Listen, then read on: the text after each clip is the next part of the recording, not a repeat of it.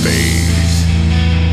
You will start to immerse in infinity of your mind And try to see And your thoughts will start to rise and rise to the sun.